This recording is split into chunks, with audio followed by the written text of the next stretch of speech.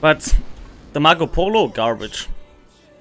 Austin, okay, but garbage, more towards garbage as well. But in the end, and I'm saying it one more time, I think having two more garbage ships in the game is better than two broken ones. Changed my mind. I rather have garbage ships more in the game than insane ones.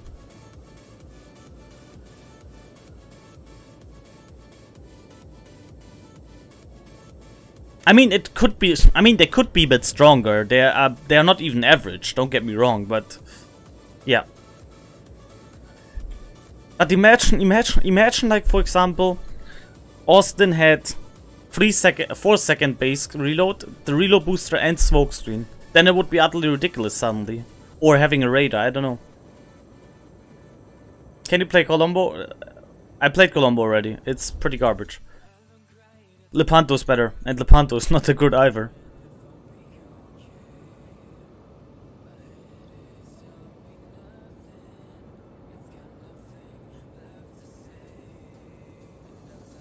I wish both would be tiny bit stronger. That's true, because I think they're below average. But better having a below average one than an overpowered one still.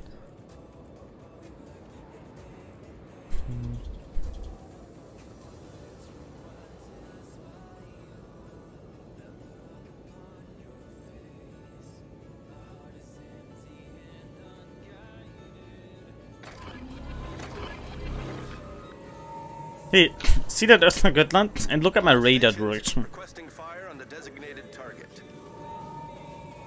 Let's see if my team shoots them once, or if I have to shoot them the whole time now.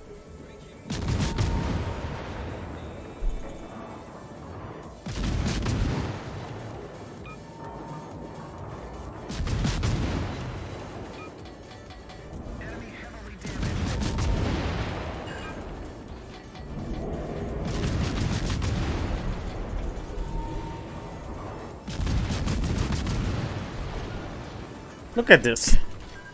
Look on, uh, of what kind of insane impact I had now in comparison already.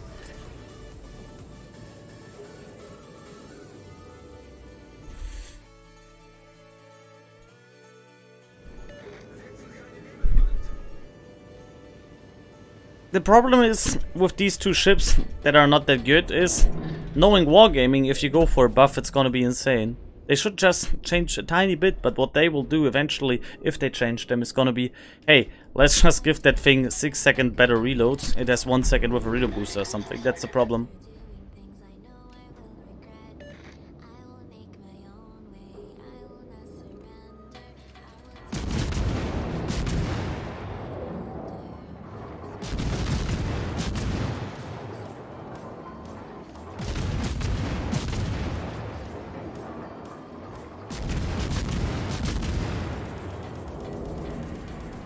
Surprised we didn't hit him in the wall.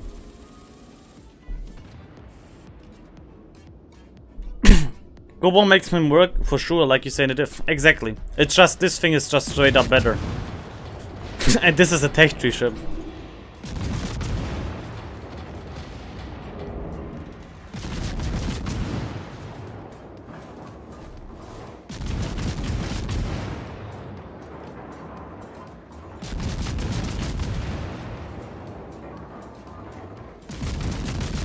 Enemy retire.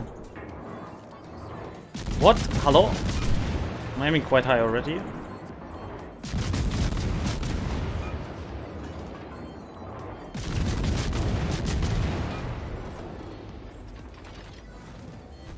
Yeah, I'm against that idea as well. Of course. I'm not questioning that. I just want to say that if you don't have if you don't have steel, and you just want to get a good ship, get this ship here, for example. You don't need to spend cash on it, you can just grind it. And it's a great tech ship. FCV strike, yeah, this the, AA is okay. AA is not bad, but the CV will still win against you if he wants to. He loses a lot of planes, but yeah. In the end, the CV will still kill you. It has really good AA, I can't deny that, but that's it.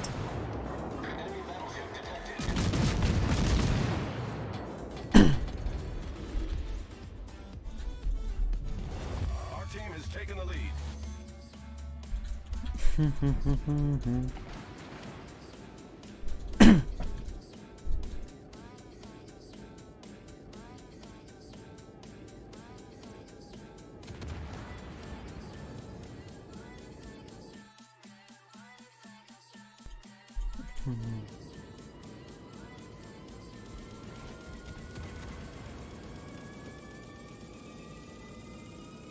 these games are really one-sided today though.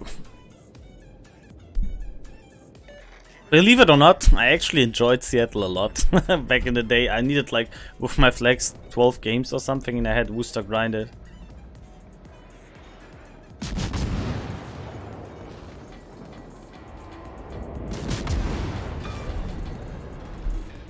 Rip him.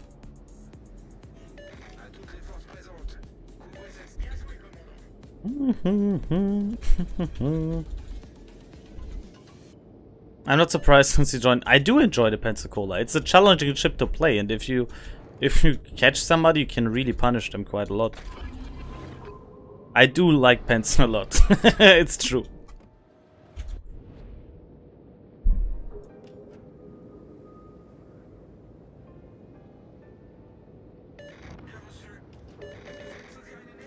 Mm-hmm.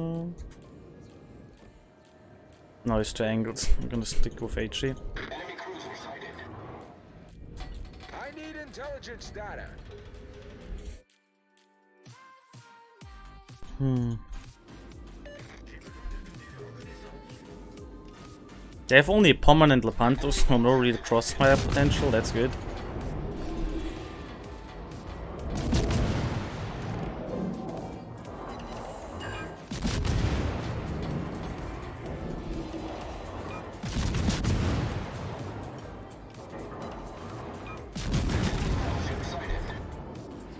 Oh, both of them are there. Perfect. That means we can deal with Indy. Okay.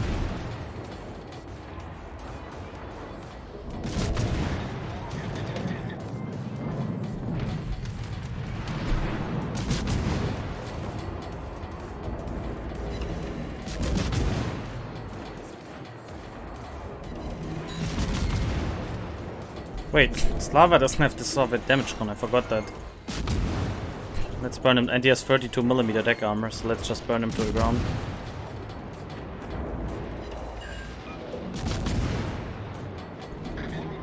Oh, he's not even aiming for me. Rip that Slava.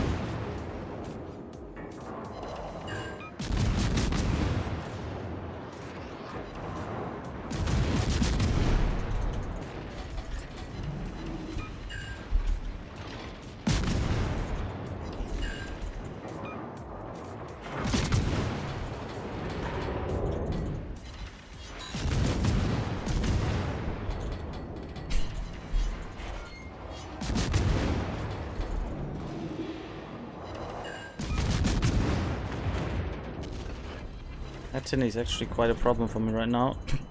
but at least he's not gonna torp me.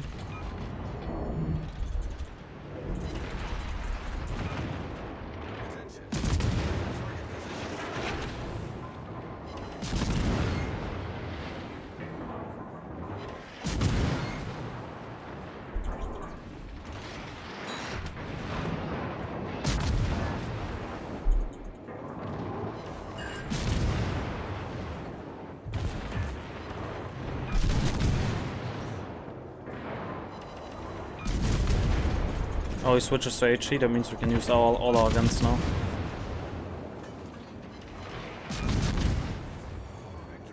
Is he going HE again? I want to see if I can open up. Okay, that's AP.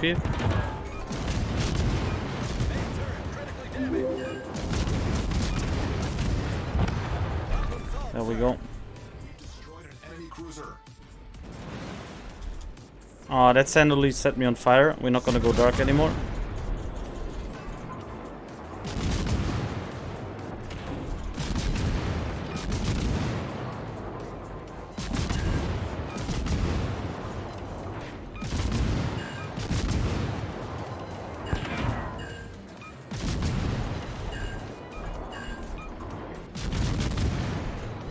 No, we don't want to use all guns. That might be difficult otherwise.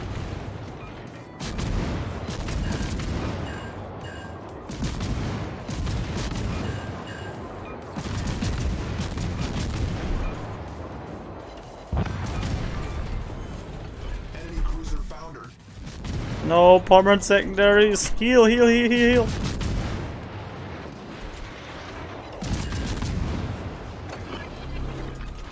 Panto's also there. Hmm, that was really close.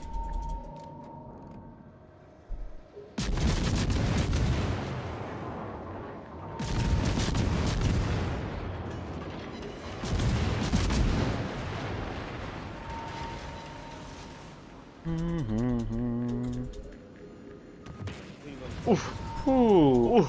Cousin Coffee, thank you for your Twitch Prime. Cousin Welcome. Coffee just subscribed. Welcome to the Oof Army, my friend.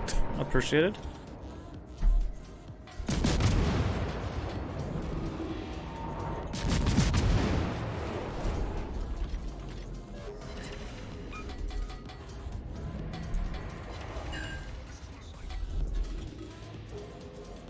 Wait, did he lose the gun completely? No, he did not. GG. And there we go, guys. This is what I'm trying to show you. Look, look, look, look at how effective this ship is in comparison. And we even played it quite ridiculous, to be honest. I played it super aggressive. We didn't even try to like hide ourselves whatsoever. Three kills. We we didn't help capping. Okay, never mind. But 150, 42 damage. Okay, first in the team. And this is solo. This is solo. And it's a, it's a tech tree ship that I always recommend to people. Because I think the Worcester is a really good ship.